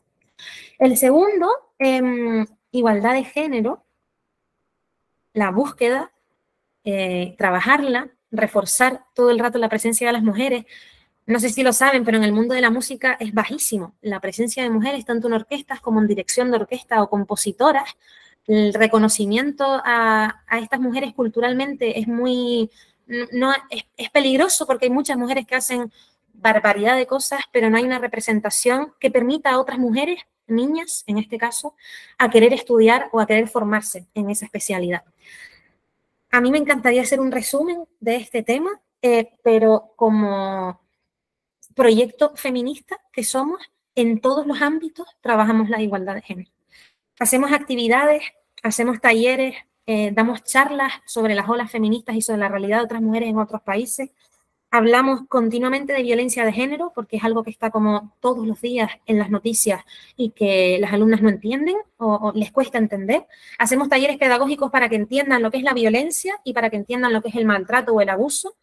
Eh, intentamos crear espacios de intervención si hay alguna situación en la que una niña se ha sentido ofendida o, mm, mm, quizás como acosada fuera de barrios orquestados o dentro de barrios orquestados que puede pasar y buscamos un espacio para hablar con su madre con la directora del colegio con el director y buscar una, mesa redonda donde poder hablar de esto.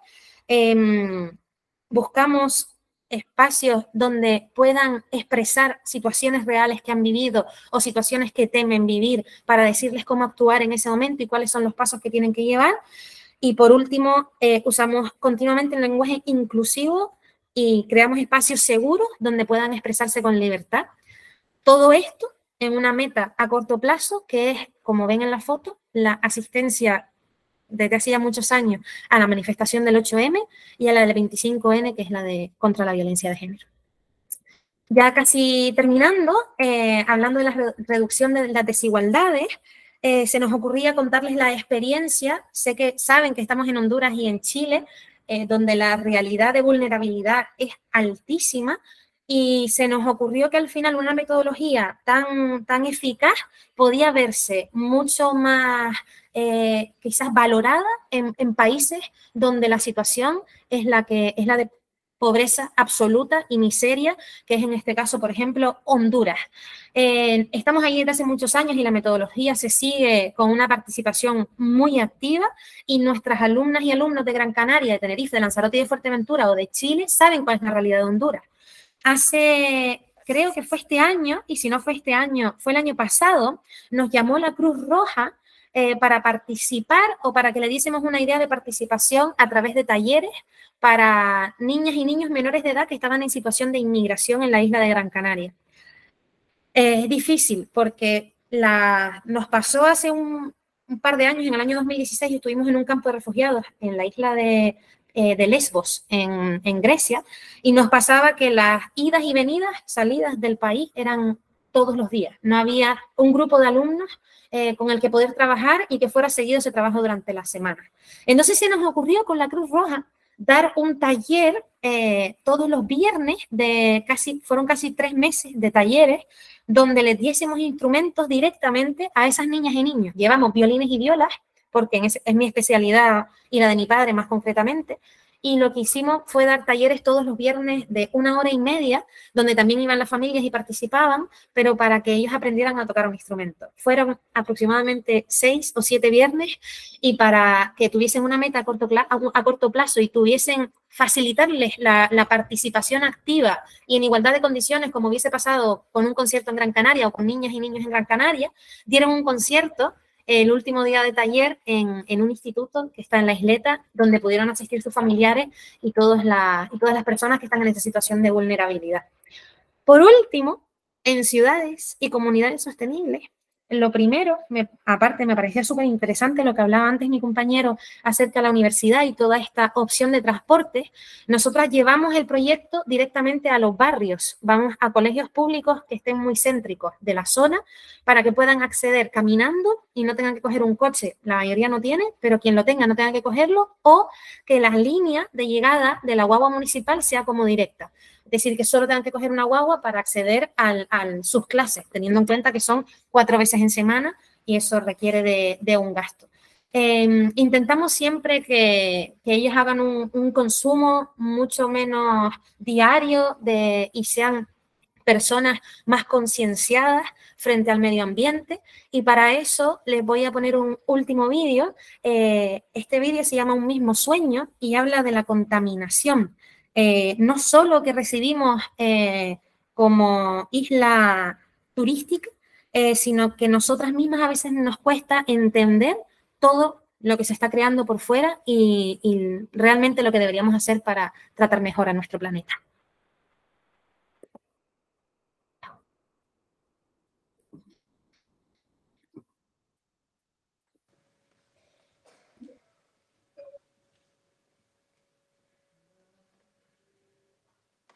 I'm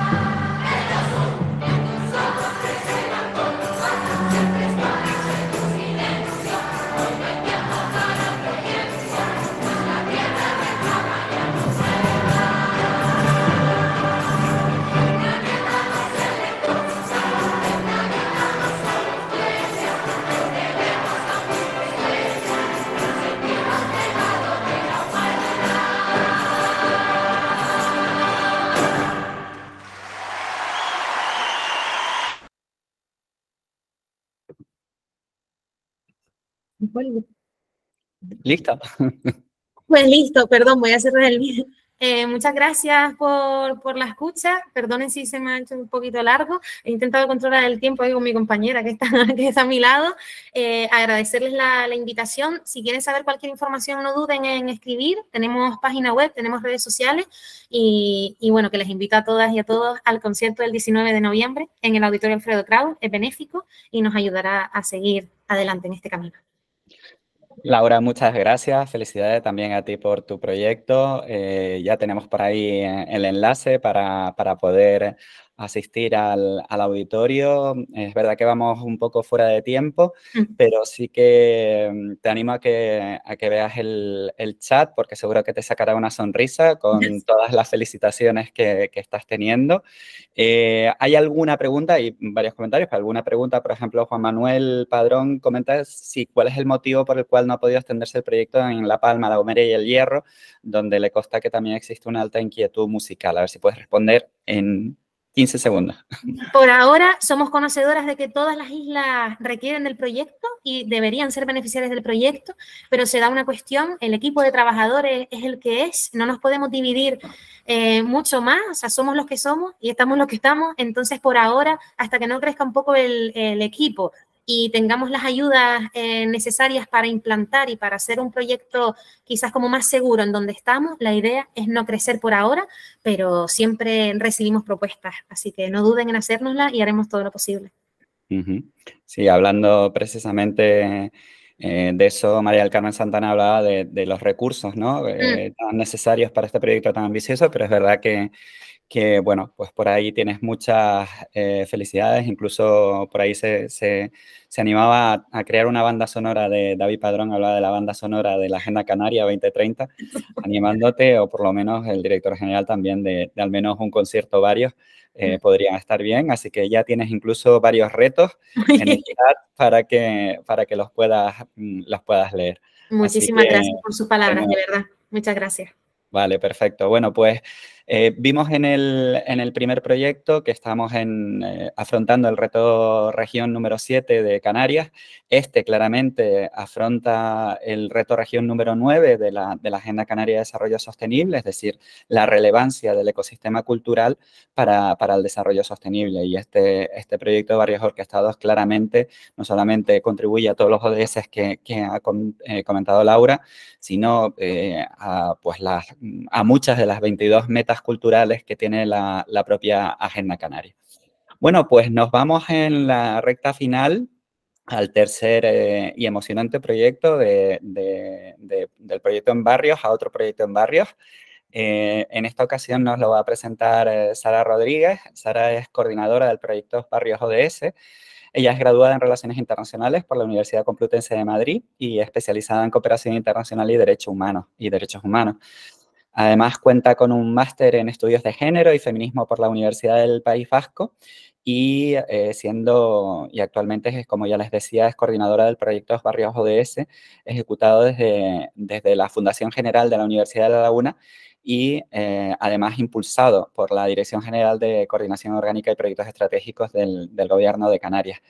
Ella participa en la ponencia que ha denominado la Agenda 2030 en tu comunidad, proyecto para la aplicación comunitaria de la Agenda Canaria 2030 en el ámbito local de, Canarias. Sara, bienvenida. Vamos a ver si puedes ajustar tu ponencia por el tiempo, a ver si podemos acabar antes de las 12 para, para no retrasarnos mucho más. Cuando quieras, Sara. Muchas gracias, Alberto. Eh, y también dar las gracias a la compañera Laura Brito por esa emocionante exposición. Ha sido muy, muy emocionante y, alentador pues, ver también proyectos tan a largo plazo, ¿no? que tienen un impacto tan, tan positivo ¿no? en, en, en todas las islas. Eh, y también a Luis eh, Mazorra, que nos comentaba también antes eh, esa estrategia tan interesante. Y por supuesto a ustedes, Alberto, por invitarnos y darnos este espacio para, para poder compartir esta experiencia. Y, y a Octavio, ¿no? También, que, que, desde la Dirección General pues, nos, ha, nos ha estado acompañando en este proceso. Voy a, a compartir la presentación. Ya me confirman que la ven bien. ¿Se ve correcto? Perfecto, Sara. Fantástico. Eh, cualquier cosita con los tiempos, Alberto, me comentas, ¿vale? Yo voy a intentar ajustar un poquito lo que teníamos aquí preparado. Em, pero bueno, em, para no extenderme más, arranco eh, con un poquito la presentación de esta experiencia, Barrios ODS. Em, vale, comenzar pues comentando lo que es un proyecto experimental, ¿vale? Es un proyecto experimental em, que tiene como objetivo eh, aplicar de manera comunitaria, ¿no? Con una metodología comunitaria, la Agenda Canaria de Desarrollo Sostenible 2030 en el ámbito local, ¿no? En el ámbito inframunicipal en el archipiélago canario muy rápidamente, como bien comentaba Alberto, eh, está desarrollado por la Fundación Canaria General de la Universidad de La Laguna y eh, está impulsado por la Dirección General de Coordinación Orgánica de Proyectos Estratégicos, ¿no? de escrita presidencia del gobierno, que eh, está pues, encabezada por, por Octavio Caraballo. su objetivo principal, como comentábamos, ¿no? es desarrollar, ¿no? impulsar acompañar estrategias comunitarias eh, alineadas con la Agenda Canaria de Desarrollo Sostenible 2030, ¿no? en el ámbito inframunicipal. ¿Dónde? Bueno, aquí hay un gran eh, reto eh, que es, em, lo hemos planteado inicialmente con una convocatoria pública que, salió en, abril de este año a todos los ayuntamientos de eh, municipios de Canarias, también acompañados con, el impulso de la FECAM, para, hacer este ejercicio, una convocatoria abierta para em, eh, invitar a, los municipios acompañados con siempre entidades sociales o asociaciones vecinales de, sus municipios eh, y junto con recursos técnicos a presentar esta postulación para adentrarse en esta experiencia ¿no? experimental. En este caso eh, salieron, eh, salió el, mapa completo, no estábamos seguras al, inicio si íbamos a tener representación en todas las islas, pero sí, sí fue posible tener este mapa completo eh, y estamos, bueno, en, San José, en el barrio San José, en Breña Baja, en la isla de La Palma, en el Pinar del Hierro, en, la isla del Hierro, en Playa de Santiago, estamos en el municipio de Alajero, en La Gomera, aquí en Tenerife eh, nos encontramos en La Postura, en el municipio de Adeje, en, Gran Canarias nos encontramos en el municipio de Arucas, en, en Bañaderos, en Fuerteventura, en Guisguey, el pueblo de Guisguey. Em, en Lanzarote estamos en la, en la, Peñita, en Puerto del Carmen, en el municipio de Tías, y en La Graciosa estamos en Caleta de Cebo. Aquí también señalar que, bueno, eh, em, somos un equipo de tres personas eh, técnicas que estamos eh, ubicadas, dos de ellas aquí en Tenerife y una de ellas en La Palma, en, los Llanos de Aridane, junto con también el coordinador Alexis Mesa y el director académico Vicente Zapata. Estamos pues siempre intentando ¿no? poder estar presentes lo máximo posible en todas las islas, aunque pues esto siempre ha sido desde un inicio un reto, aunque lo, vamos abordando de la mejor manera entre, entre todo el equipo.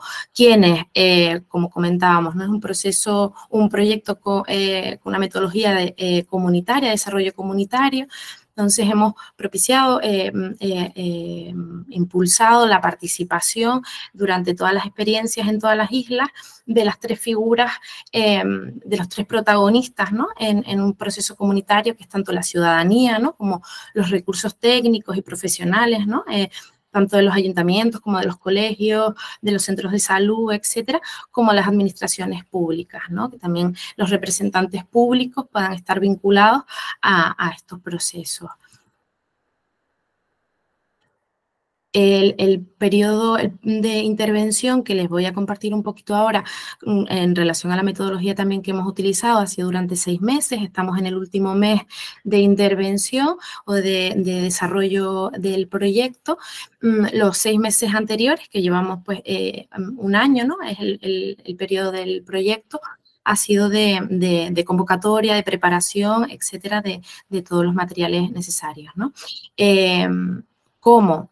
Muy brevemente, em, iniciamos, eh, consideramos mm, que era importante comenzar con una formación, una formación amplia y, detallada, ¿no? también con una metodología eh, muy participativa sobre la Agenda Canaria de Desarrollo Sostenible 2030, ¿no? una herramienta bastante novedosa em, y queríamos pues también desgranarla, ¿no? hicimos un, trabajo de desgranarla, de descomplejizarla, de, de facilitarla em, facilitar su lectura y su comprensión a través de una formación de 20 horas, que ahora les comentaré con un poco más de detalle.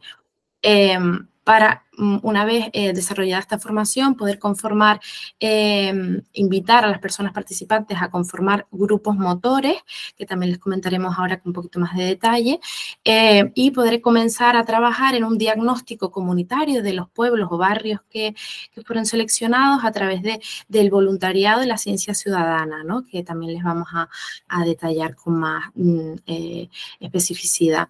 Eh, actualmente nos encontramos eh, ya en la parte de mm, recoger y eh, depurar el diagnóstico comunitario que se ha estado trabajando durante todo este tiempo en las localidades para eh, celebrar en cada una de, las localidades un encuentro comunitario para eh, esbozar en, los casos donde se, pueda plantear un plan de acción, ¿no? una serie de acciones em, alineadas con la Agenda Canaria, con sus objetivos prioritarios, con sus em, prioridades también identificadas que eh, las personas vinculadas a este proceso han ido identificando, ¿no? para poder cerrar en noviembre con un encuentro también regional donde trabajaremos una guía que pueda servir de, de, pues, acompañamiento a otras localidades y municipios que quieran eh, adentrarse en esta aplicación comunitaria de la Agenda Canaria 2030.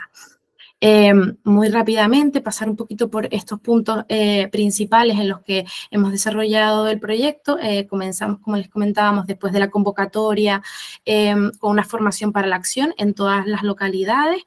La, llamamos los ODS en tu comunidad, agentes locales del cambio, y fue eso, una, una, formación presencial de 20 horas de duración. Que, mm, donde utilizamos ya la agenda canaria como, como herramienta básica eh, en todos los ejercicios que planteábamos, ¿no? Las cinco dimensiones eh, de planeta, eh, prosperidad, personas, gobernanza pública y cultura, a través de sus objetivos de desarrollo sostenible y a través de los retos región, que como bien comentaba Alberto, son nueve los que tenemos en, el archipiélago en el archipiélago, ¿no? definidos en, esta agenda canaria. Entonces ha sido la lente, las gafas a través de la, la cual hemos estado trabajando y eh, realizando todos los ejercicios eh, eh, y actividades en el marco del, proyecto, ¿no? Esta, esta, herramienta tan valiosa que nos permite también ordenar, identificar todas las necesidades, los retos, las fortalezas que tenemos en nuestro barrio, en nuestra, localidad y podemos también ordenarlas y, y trabajarlas a través de esta herramienta, ¿no? Fueron talleres formativos muy participativos y dinámicos eh, que se componían, pues, bueno, tres sesiones teórico-prácticas de cuatro horas y dos sesiones de cuatro horas de aprendizaje y servicio, ¿vale? Em, bueno, se, ponía mucho el foco en, en, buscar de manera consensuada por todas las personas participantes los temas centrales de ese barrio, de ese pueblo que se querían eh, comenzar a trabajar, a dialogar, Em, también fomentamos, intentamos eh, que estuvieran participando las tres figuras comunitarias en prácticamente todas las, formaciones estuvieron presentes tanto ciudadanía como administración pública como técnicos y técnicas. Em, también eh, con un, enfoque de enseñar la metodología para su réplica. Em, ya ha habido eh, diferentes casos que mm, eh, profesoras o, otras compañeras han replicado algunas de las dinámicas que hemos utilizado en, en sus escuelas o en sus asociaciones. Em, también siempre devolviendo los resultados para poder continuar nutriéndolos y eh, también em, eh, acompañando y fomentando el trabajo autónomo del grupo, ¿no? A través de ese aprendizaje y servicio, que es un aprendizaje a través del servicio a, nuestra comunidad, ¿no? A través de diferentes, diferentes acciones. Y eh, ya enfocándonos a ese diagnóstico comunitario, ¿no? Que queríamos trabajar. Algunas fotografías de, de estas formaciones. Em, esto es en la postura, en Adeje, eh, en Lanzarote, en La Peñita, eh, estamos en San José, en Breña Baja, Em, algunas fotografías de también ya esos grupos motor. Una vez finalizada esta formación, eh, se invita y se propone conformar un grupo motor de personas eh, que quieran continuar vinculadas a, esta, a este proceso de desarrollo comunitario en su pueblo o en su barrio eh, y se conforma un grupo que comienza a trabajar ya de manera más abierta y más amplia ese diagnóstico, invitando a otros, a otros colectivos, a otros agentes a, continuar identificando esos temas centrales que, que, que ocupan, ¿no? Em, voy a avanzar un poquito más rápido, estoy viendo el tiempo. Eh, realizamos un encuentro comunitario conjunto, eh, donde aquí ya sí nos encontramos de manera eh, regional, ¿no? Todas las islas y todas las localidades. Fue muy rico, está subido en YouTube, toda esta información la pueden, la pueden encontrar sin problema.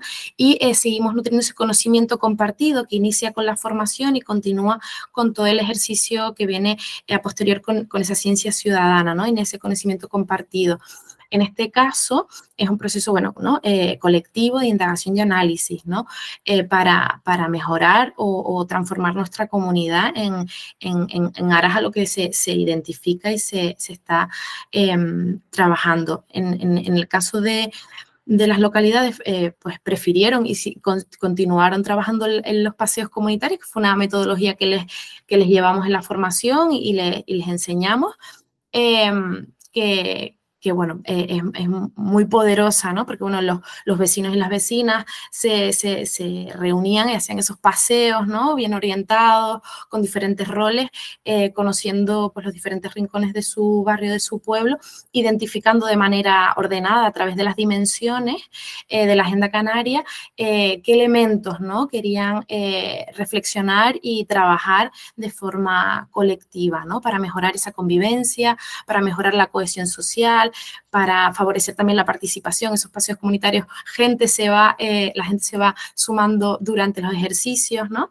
También a través de, de los diferentes materiales, ¿no? De soporte que, que, se, que se han entregado y se han dejado en las diferentes localidades eh, como son las fotos aéreas, donde pues se han dividido por zonas y, esas eh, plantillas de recogida también que pueden ver con, las diferentes dimensiones que se han replicado ¿no? en, en diferentes ocasiones. Por ejemplo, en el caso de San José, eh, quisieron hacer un paseo comunitario, invitaron a, la infancia, hicieron un paseo con, infancia, ¿no? Para recoger también la mirada de los más pequeños. Se ha hecho también em, paseos comunitarios con, personas em, eh, que, se encuentran en alguna situación de salud mental, eh, para poder recoger también todas las miradas posibles, ¿no? Em, aquí también, bueno, eh, algunas imágenes de esa metodología que, como comentábamos, hemos puesto el foco en la réplica, ¿no? En, poder enseñarla para que se pueda replicar y que puedan ser los grupos motores quienes enseñen a otras personas a poder realizar estos paseos, ¿no? Em, como comentábamos, el voluntariado de la ciencia ciudadana, algunas imágenes, no voy a detenerme mucho más aquí. Eh, quería también em, traer algunas de las acciones que ya el grupo motor, ¿no? de manera autónoma y completamente eh, em, eh, pues, ¿no? como organizados, han, han desarrollado. ¿no? Este es el caso de Bañaderos, en Arucas, que en el marco de la feria Arucas y el Mar eh, organizaron y propusieron al, ayuntamiento realizar esta actividad, Mi Costa Limpia y Bonita, donde pusieron un stand para pues, eh, informar sobre el grupo motor y sobre el proyecto, también para recoger, seguir nutriendo ese diagnóstico comunitario a través de las dimensiones de la agenda y realizaron un paseo comunitario por zonas eh, emblemáticas para, ellas de, de bañaderos, Em, eh, y el puertillo para eh, dárselas a conocer a los vecinos y a las vecinas, aprovechando para hacer una limpieza de la costa. ¿no? Esto fue una actividad desarrollada por el grupo motor de, bañaderos, también Guisgay en Fuerteventura, que eh, tiene una población de 150 habitantes. Em, desarrolló el, pasado fin de semana una pioná, una pioná comunitaria, que, que ellas em, eh, han denominado así, y donde dan em, eh, han organizado un grupo de, más de 50 personas para limpiar y embellecer el pueblo, ¿no? Em, en, este caso, el grupo motor ha elaborado una iconografía y, ha, puesto eh, también eh, en colaboración con, el ayuntamiento, etcétera, estos materiales para, limpiar y, pintar algunas de las zonas simbólicas y, transitadas por los vecinos y las vecinas, ¿no? Entonces, también traerles estas dos acciones se han desarrollado más, ¿no? Pero por tiempos no, no podíamos eh, mostrarle todas. Eh, de aquí también como eh, es un reflejo de la importancia de, esa, de, ese factor comunitario, ¿no? que estuviesen las tres figuras, ha favorecido y ha facilitado que la ciudadanía en este caso, eh, en diálogo con el ayuntamiento y con los técnicos y los recursos técnicos, hayan podido desarrollar una actividad eh, eh, como esta, ¿no? Donde han puesto también guaguas para el transporte al pueblo desde, mm, desde Puerto del Rosario, etcétera, Hicieron también una paella colaborativa donde invitaron a, otros vecinos y vecinas. Todo esto lo hemos ido sistematizando, bueno, sobre todo las personas que han participado en cada una de las localidades a través de, de diferentes materiales y lo hemos llevado, lo estamos llevando en eh, los grupos motores, ¿no? Eh, eh, a, los encuentros comunitarios, que es donde nos encontramos actualmente, a través de, de, las diferentes dimensiones, ¿no? Para seguir trabajando y dialogando sobre estos temas y proponer acciones ya concretas eh, que puedan abordar de una manera aterrizada y, mm, ajustada también a, los recursos y, y al, contexto de cada uno de los pueblos de los barrios, acciones concretas para, afrontar y mejorar, en este caso, su, entorno ¿no? y su, su calidad de vida. En este caso, Queríamos también traerles eh, uno de los ejemplos más recientes. Em, eh, tuvimos el encuentro comunitario eh, el pasado 28 de octubre en la Casa de la Música, en Breña Baja, em, y tenemos ya un pequeño vídeo donde pues, pueden tal vez ver de primera mano cómo, cómo ha sido este proceso y escuchar tal vez algunos testimonios. Antes de poner el vídeo, solo me gustaría señalar Em, que, bueno, eh, han sido seis meses ¿no? de, trabajo, eh, que, bueno, que hemos estado trabajando en, en todas las islas y acompañando a los grupos, donde también hemos identificado pues em, que ha favorecido mucho ¿no? el acercamiento y, el aumento de las sinergias entre incluso las vecinas y los vecinos, entre las diferentes figuras comunitarias como son los recursos técnicos y las administraciones, ¿no? que eh, forman parte de los grupos motores, ¿no? En, muchos de los casos. También se han dado espacios de resolución de conflictos y de mediación que han facilitado también el desarrollo de otras, otras actividades em, y, bueno, han, despejado también algunas, algunas eh, nuditos que, había presentes y que se han podido también eh, eh, resolver. Y em, también nos hemos, hemos identificado que los plazos, ¿no? Muchas veces para, para eh, construir eh, procesos con confianza, con, donde las sinergias se puedan desarrollar, y, donde las personas también puedan ir eh, incluyéndose y, participando en, esta, en estas acciones. facilita que sean ¿no? pues tiempos un poco más largos. en todas las islas ha sido diferente, ¿vale? Ha sido completamente diferente desde la Graciosa hasta el Pinar. Entonces esos tiempos eh, los hemos eh, procurado acompañar acorde a cómo, cada localidad los ha requerido, pero si bien es cierto que, los tiempos hay veces que se, se, acortan y esa dilatación pues eh, no permite muchas veces poder acompañarlos con sus ritmos específicos. también han sido espacios intergeneracionales donde creo que en el vídeo se va a, a ver muy claramente. Para no extenderme más, voy a poner el vídeo eh, me confirman que, que lo escuchan bien. A ver. Vamos a ver. Todo bien. Para la casa, buenísimo. Pero para los hombres, yo el nombre.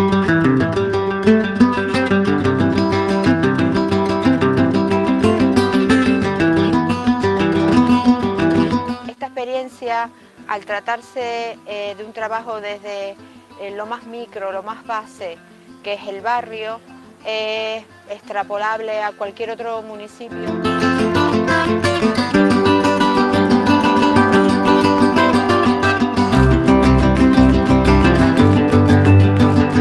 Hemos visto donde han participado desde los más pequeños hasta los más mayores, de, no solo del barrio, sino de otros barrios del municipio, donde hemos compartido pues, experiencias, desde experiencias personales, donde hemos visto eh, las virtudes que tiene nuestro municipio.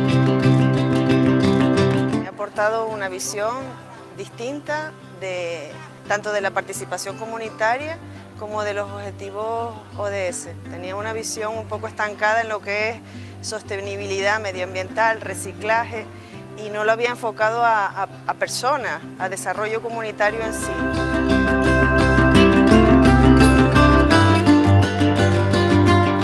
que se animen a participar en estos proyectos porque son muy positivos para la comunidad, para el municipio y para todos.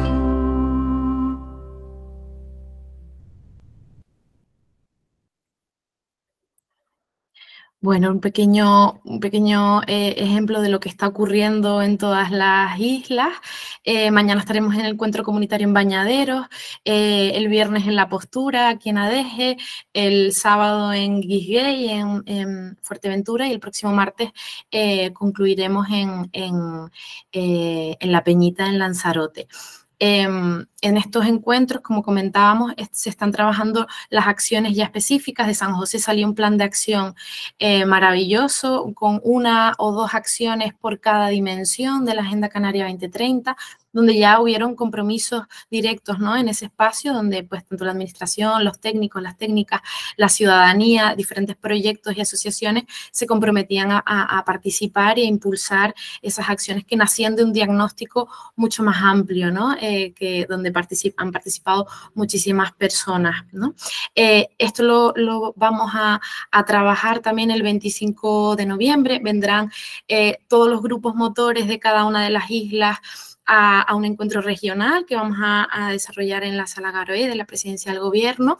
Em, eh, donde vamos a trabajar también esa sistematización, ¿no? ¿Qué pautas metodológicas eh, vamos a poner, eh, se van a poner en, el foco para que si otros, otros barrios, otros pueblos, otros municipios quieren desarrollar estos procesos puedan desarrollarlo, ¿no?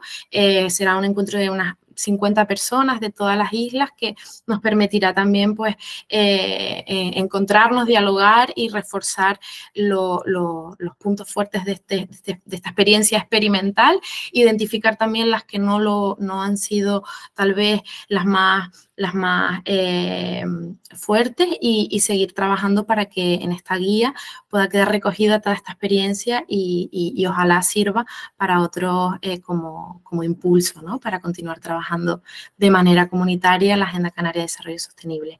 Mm, creo que me pasa un poquito de tiempo, eh, Alberto.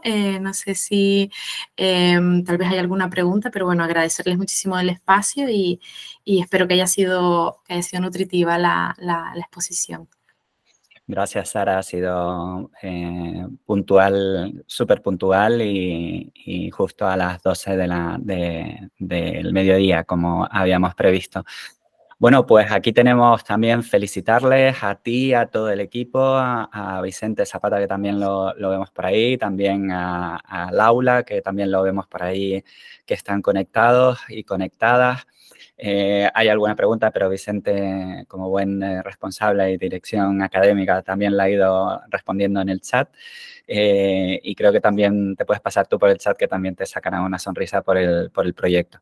Aquí también tenemos otro ejemplo de, de, abordar retos región en Canarias. por ejemplo, aunque este proyecto es muy transversal, eh, hablábamos con la Universidad de Las Palmas con el reto región número 7, hablábamos con el proyecto de barrios orquestados, el reto región número 9. Eh, eh, aquí también tenemos una prioridad de actuación clarísima, que es la prioridad de actuación 1.6, que dice la Agenda Canaria con ese enfoque comunitario. ¿no? Entonces, bueno, esperamos que todas estas iniciativas pues les hayan gustado. Les he puesto por el chat, eh, además, que tenemos previsto un nuevo seminario en línea.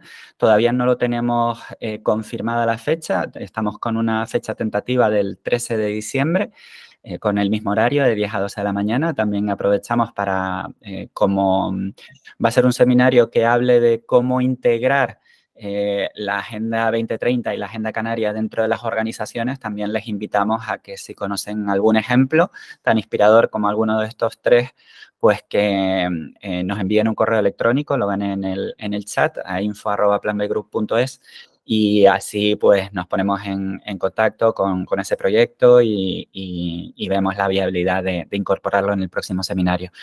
No me queda otra cosa que mm, eh, ver la posibilidad de, hacer una foto de grupo. Para esa foto, eh, quien quiera salir, pues eh, puede ir abriendo si quieren las, cámaras para, tener esa, esa, foto de grupo. Quien lógicamente no quiera, pues lo único que tiene que hacer es apagarla.